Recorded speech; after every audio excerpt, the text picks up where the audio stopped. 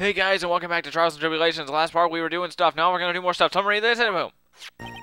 On the day of the incident, an unknown person phoned the agents and asked them to meet. Sergeant Hawthorne went to Dusky Bridge at the designated time and met with Mr. Falls. And that's where she was brutally murdered, sir. The criminal stuffed her body into his car trunk and tried to get a, make a getaway. Mr. Falls was arrested as a police checkpoint we set up at the base of the mountain. Cool. I guess. Hmm. Well, you certainly have established the importance of the bridge. You have? Okay. Naturally. Smack! Now, would the defense please hurry up and proceed with the cross-examination? Yes, Your Honor. Cross-examination, coming right up. Hey, hey, settle down there, kitten. If you keep trembling like that, you're gonna make me spill my coffee from laughter. Because it's funny to watch you shake. I am not trembling. It, it's just cold in here. The courtroom can be a cold battlefield, all right. Especially for a beginner. I, I don't need you to worry about me. I, I mean, I mean the defendant, the witness. Everyone's a beginner in here. you got me there. But maybe you should keep your claws out and show them what you got, kitten. It's okay, Mia. Stay calm. Just remember those court procedure videos you stayed up all last night watching. So you come to your first trial with no sleep. Or if not no sleep, very little sleep. That is intelligence at its highest level, I do believe. Never mind. Summary of the incident. And it's weird to see uh, young Edgeworth versus Mia, or just Edward, yeah, or just Edgeworth versus Mia. Okay. On the day of the incident, an unknown person phoned the sergeant and asked. Okay. Tell me about this thing. This unknown person. You have no idea who it might be, right? Sorry, but I'm afraid I do. What? Okay, so. Okay. This is a.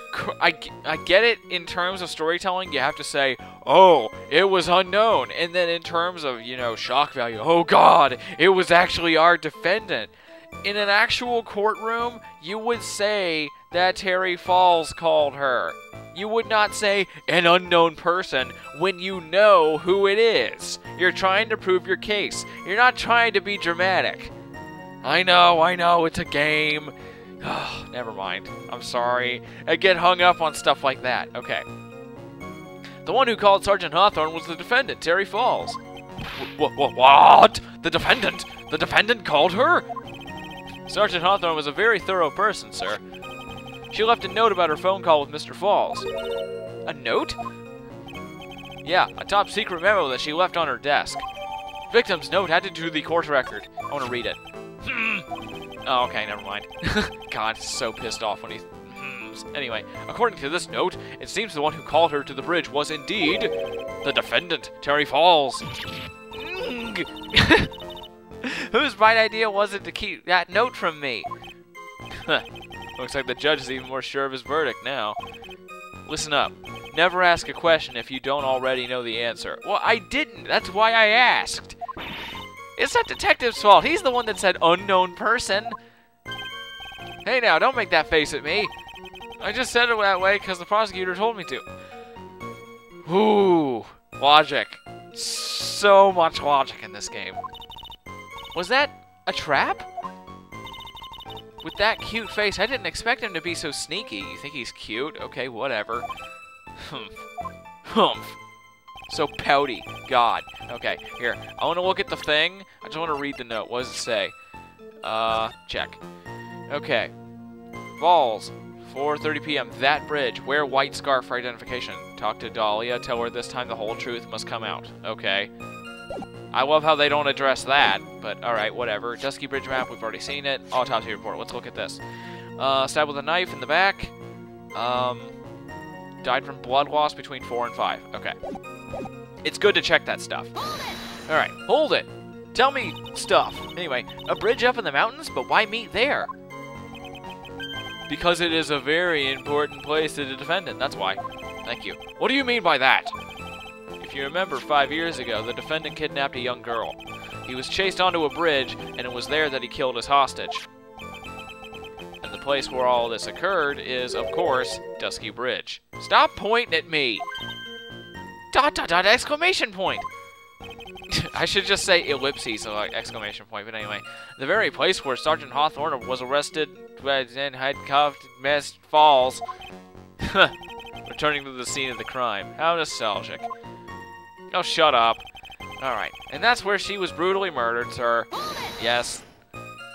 Continue. Was the body of the victim discovered right away? Yeah, we were really on the ball. We found the criminal within one hour of the murder. It was great. We even got to say, don't move. We've got you surrounded. Wow, I bet actually that sounds like it'd be pretty fun to say. Wait a second. Isn't there something weird about that? The location was a suspension bridge up in the mountains. So how did they find out about the crime so quickly? Sergeant, Sergeant Hawthorne must have mentioned the phone call to someone else, right? if that's what had happened, then she wouldn't have been killed. That's a good point, honestly. I'll give him that.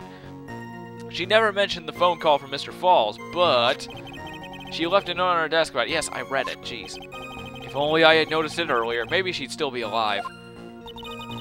I wonder why she didn't mention the phone call to anyone. The criminal stuffed her body into his car trunk and tried to make a getaway. Mr. Falls had a car then? Well, that bridge is way up in the mountains, ma'am. The defendant and the victim both went up there by car. I mean, how else, right? Uh, you do have legs, but, you know, you wouldn't want to walk. What? You mean the defendant drove his own car? No, no, of course not. It was stolen. He stole it from a young couple that had been waiting at a red light. Hmm, car thieves! I'm not sure how I feel about car thieves. Is this guy sure about how he feels about anything? God, freaking Judge's cousin. Douchebag. Hate his face and his freaky eyes and his stupid beard. he should be fired and killed anyway. I don't know why. I just don't like him. Whatever. Anyway, this is a photo of the stolen car's trunk. She doesn't look dead at all. Okay, anyway. Naturally, that's the body of Valerie Hawthorne in there. Whoa! That? That doesn't look too comfortable. wow. Alright, crime photo. I don't hate the judge, I'm just trolling. I don't know why. The victim. The victim. She was stabbed in the back, right? Or correct? Yeah. For some reason, men always seem to get stabbed in the back. We're talking about a woman here you can't tell from this photo, but the knife was stuck in her back nice and firm.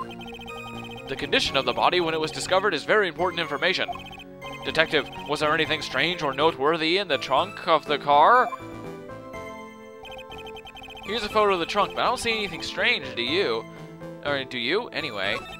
Uh, Mr. Ball- oh, oops. That's not what I wanted to do. Um, okay. Hold To hold it! What did the defendant have to say about this photo? What he always says, ma'am. I didn't do it. I didn't do nothing. That's all he says. Nothing? I wouldn't say he did nothing. At the very least, we know he stole a car. That's just what he always says, Your Honor. And then he always says, Ugga. Uh, sorry. I told a little lie. or something like that. Well, in any case, it seems he was caught and arrested. No, really? I never would have guessed from the fact that we are on trial here. Precisely. shut up, Edgeworth. No one asked you. Alright. Um, I know what we must do. There's nothing wrong with it. I deduce that there is nothing wrong with the fact that there's nothing wrong. I mean, wait. Double negative attempted and failed. She doesn't have a white scarf. Witness! Epic finger point? Uh. Yes. What is it? Do you have something to say, Miss Fey? I, am sorry. I, I totally forgot what I was gonna say. Okay, that's actually pretty legitimately funny. This is this is the first time I've ever had to actually address someone like that. You should have practiced before coming to Who? On who? Who? Never mind. God. Honestly, Miss Fey, I'm not sure I like this. You're not sure about anything. God. What are you, like Francis? You don't like anything. You're Francis from Left 4 Dead. That's it, isn't it? I'm calling it. This guy's Francis. Hm. Say there, little kitten. Want a piece of my coffee candy? What the hell? You don't have coffee candy. You have coffee. Hang on a second. God. Okay, sorry. That I don't know why, but that killed me. Why? Say there, little kitten. You want a piece of my coffee candy? I'll take a coffee flavored like chew or something, I guess. If you have them, I'm fairly certain you're talking about your coffee, like your actual liquid coffee. Coffee isn't candy. It's not sweet. It because here's the thing, I don't I do not see Armando or Diego or whatever. I do not see him drinking it with sugar. I really don't. I bet he takes it black because you know he's always says, "Oh, it's so dark. It's so dark because I'm emo." You know. So, anyway, coffee candy, candy. Well, you're still too young to be drinking real coffee. What? Grr, come on, Mia, shake it off. You're a lawyer. Detective. Y yes, ma'am. This photo. You said that there was nothing peculiar about it. Is that correct? Y yeah, that's what I said. Well then, I suggest you take another look at the note written by the victim. The n n n note? It very clearly says, wear white scarf for identification. The caller must have forgotten what the victim looked like, thus this special request. Ah, I, um... I have one very simple question for you, Detective. Where's the white scarf? I can't seem to find it in this photo. Um, well, to be honest, we didn't find it in the trunk, ma'am. And you stopped there? You should have looked for it. Arg! Smack. The caller told her to where to where to identify herself, so I'd expect she did just that. Well, Mr. Edgeworth, what do you have to say about this? Sigh. I see the defense is a little lacking. Dot dot dot exclamation point, ellipses exclamation point, whatever. I'll just say dot dot dot. I'm used to it. The scarf you're searching for so desperately for. Is it this one, perchance? Ah! Where did you find that, sir? On Dusky Bridge. I was there first and decided to conduct my own investigation. Pretty sure you can't do that, but okay. Why? Why didn't you tell me? I made a decision to keep all pieces of evidence in my personal satchel. And by the way, if you guys have played the first game, you know exactly who he looks like right now with that pose. That's the safest place I know. Aside from, like, you know, actual safe places, you know, like safe houses, um, inside of a safe, inside of a bunker, um, on a protected aircraft, um, in a room that has guards, a police station.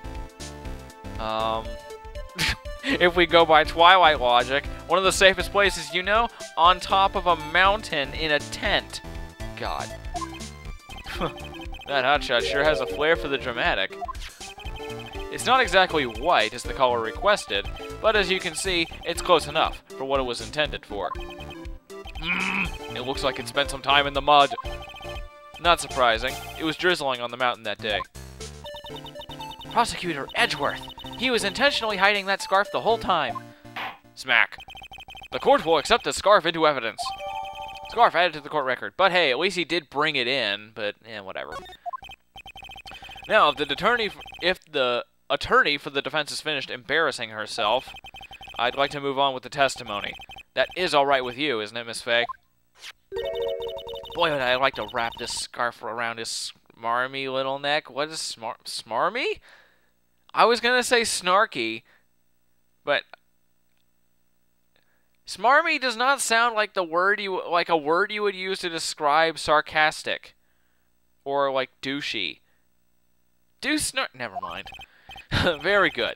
Now, if we're done with this mud-covered scarf business, the prosecution moves to establish conclusively and with hard evidence that Miss Hawthorne and Miss Fall or Mr. Falls did indeed meet on the bridge that day. Furthermore, or further, we will show exactly what occurred there. That sounds quite promising. I can't wait to hear all about it. Arg, everything is moving at his whim. Don't forget, kitten, there's a reason why everyone considers this kid a genius. A genius, huh? Yes, a genius. Events on Dusky Bridge. Next time, we're gonna do more stuff, because we're already out of time. So, see you guys next time.